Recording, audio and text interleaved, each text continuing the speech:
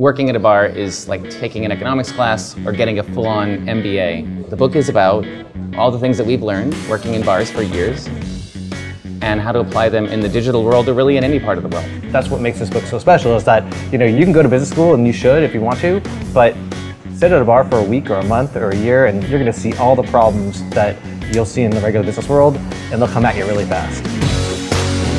Hi, I'm Dan Maccarone. And I'm Bob Sullivan, and we are the authors of the Barstool MBA.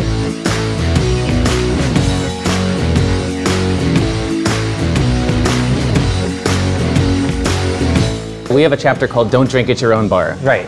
Which is an old saying, which is true, you shouldn't get drunk at your own bar, kinda. But what we really mean is You are not the audience. you're not the customer. Yeah, we say that to our clients all the time.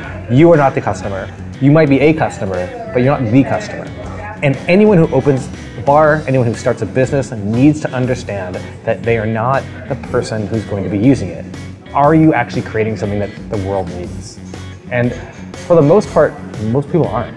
They open a bar from themselves. They open the bar that they want, not the bar that is needed. So I think anybody who's thinking about doing something kind of crazy should listen to this book. Kinda crazy? Kind of crazy. Opening a bar is kind of crazy. Like doing that startup you've always dreamed about is kind of crazy. If you're in that place in life right now where whatever you're doing is not quite enough for you and you want to take a leap, this is a book really about, about taking a leap.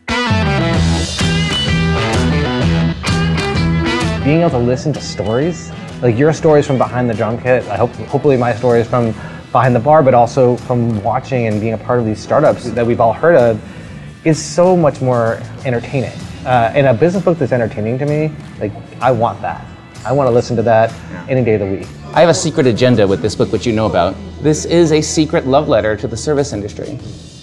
There are 2 million people who work in bars and restaurants in America. Most of them work their butts off every day trying to make people happier a little bit better. I have dreams. Everyone who's a waiter or bartender has dreams. They want to own their own bar or start their own business or whatever. And I'm here to tell you that you are in as good a position to do that as anyone who went, has a big fancy degree. Service workers are the, like the guts of America in a lot of ways. And I love what they do and I respect what they do.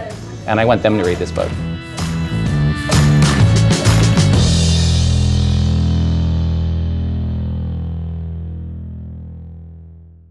We would like you to toast through the lens with us. Oh, oh. Bring, grab your glass and listen to us. Just threw up my mouth twice.